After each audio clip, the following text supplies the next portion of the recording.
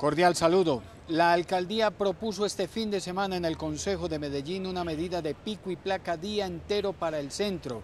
Los vehículos que tengan pico y placa de acuerdo con la rotación que ya está establecida no podrían entrar al centro de Medellín a ninguna hora. Esto se complementa con una reestructuración de las rutas de los buses que llegan hasta el centro. En nuestra emisión de la UNA les contaremos cómo funciona y qué opinan todos los implicados en la medida.